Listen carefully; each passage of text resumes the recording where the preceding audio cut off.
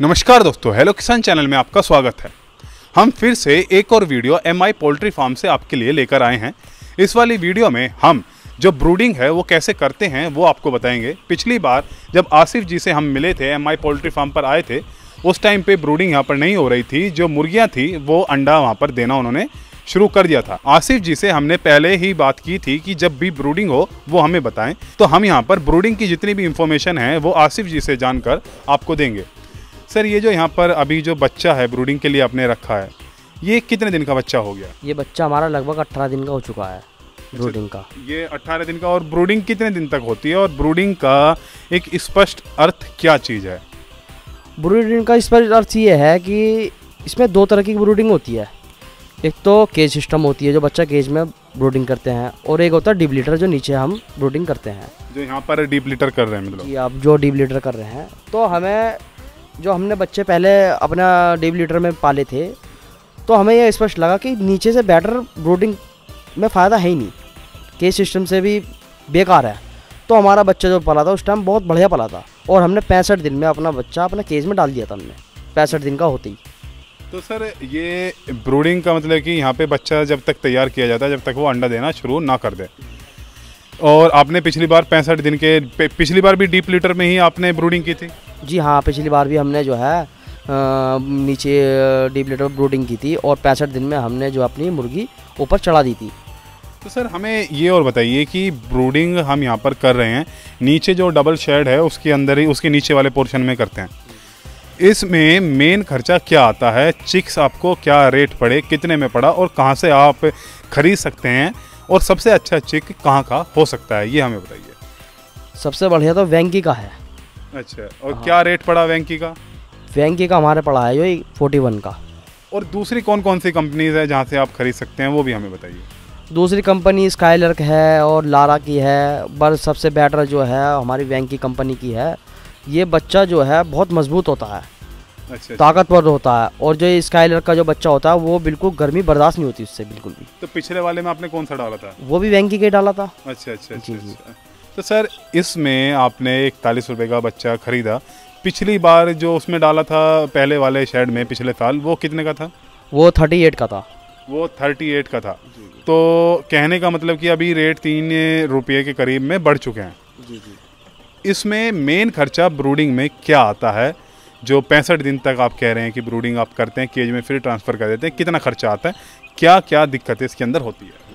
देखो खर्चा तो मिनिमम ये लगा लो आप 120 दिन में पहला अंडा दिखा देता है अच्छा। वेंकी का 112 दिन में भी दिखा देता है 120 दिन में भी दिखा देता है। तो इसका जो खर्चा वो मिनिमम वही 120 दिन तक जो है वही मिनिमम 20 से 25 लाख तक का खर्चा आ जाता है जब तक अंडे तक नहीं देती। वो खिलाना पड़ता है। बीस से पच्चीस लाख तक मतलब खिलाना खिलाना कहाँ से फ़ीड आता है? कौन सी कंपनी का आप फ़ीड ले रहे हैं?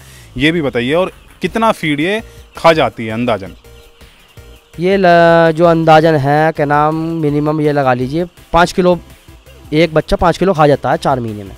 चार महीने में पाँच किलो खा जाता है। खा जाता है। और ए, ए, कौन सी कंपनी का आप फ़ीड ले रहे हैं?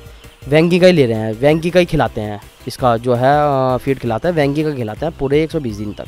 और उससे बाद में कौन सा फ़ीड खिला रहे हैं जो बच्चे अंडा लेने के टाइम पे? फिर अपना फ़ीड बनाते हैं इसमें। वेंकी की एलसी ले लेते हैं और अपना मक्का होता है बाजरा होता है डीवीआर होता है पत्थर पाउडर होता है। तो फिर इसमें अपना मिक्स करके अपना बना के गलेंडर करके अपना फिर अपना फ़ीड चलाते हैं। वेंकी की इसमें एलसी चलती है। मतलब कि मेन ये है कि जो एलसी क्या होती है? एलसी का मतलब क्या होता है सर एलसी का मतलब कंस्ट्रक्टर होता है। एलसी में इसमें प्रोटीन होता है ये जो मिनरल मिक्सचर टाइप में एक हाँ तरीके का एक होता तरह का होता है। उसमें जो है दवाइयाँ लग के आती हैं कंपनी से सोया होती है उसके अंदर और बहुत तरह की चीज़ होती है वो तो कंपनी वालों को ही पता है क्या क्या होता है उसके अंदर। उसके बाद में आप ताकि रेट कम पड़े तो उसमें अपना जो बाजरा है या दू- मक्का है वो आप मिलाते हैं ताकि रेट थोड़ा इस टाइम पे फ़ीड महँगा है तो आपको सस्ता पड़े।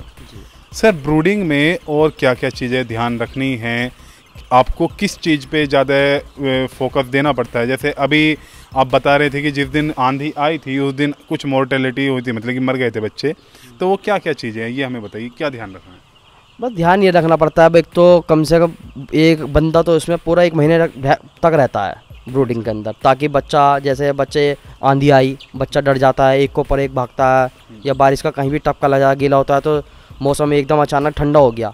तो बच्चा जो है एकदम बिल्कुल नरमाई में को भागेगा। एक को पर एक चिपकेगा तो उसमें ये ज़रूरी विषय ध्यान रखना पड़ता है। बच्चा मर ना जाए। अभी हमें 120 बच्चे मोलिटी हो गई।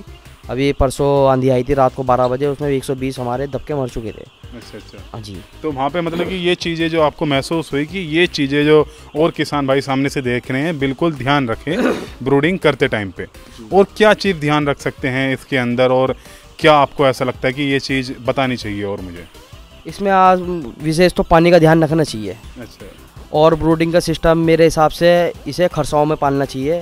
बिल्कुल सर्दी में तो बिल्कुल भी पालने नहीं चाहिए। अच्छा। जो बच्चा अ, इस कंपनी का जो बच्चा गर्मी में पाल सकते हो बहुत मतलब बढ़िया करके बढ़ता है बच्चा। प्याड़ा भी होता है जितना खरसाओं में पालोगे उतना अच्छा बच्चा होता है। मोनोलिटी भी बहुत कम होती है। और सर्दियों में तो इतना टेम्परेचर बनाओ नब्बे पिचानवे सौ तक टेम्परेचर बनाना पड़ता है। बच्चे में जो मतलब क्वालिटी देखने को खरसाओं में मिलती है वो सर्दियों में नहीं मिलती। अच्छा तो मतलब कि आप इस टाइम पे बच्चा पालें लेयर के लिए पाल रहे हैं वो अंदर से उसकी जो बिल्ट होगी वो बहुत अच्छी होगी सर का आसिफ जी का ये कहना। जी। तो ये थी हमारी आसिफ जी से बात इन्होंने बताया कि ब्रूडिंग आप कैसे कर सकते हैं क्या चीज़ें ध्यान रखनी है कितने का अभी बच्चा आ रहा है पहले क्या दिक्कतें थी। तो ये आसिफ जी से हमारी बात थी, जिन्होंने सभी जानकारी ब्रूडिंग के बारे में दी।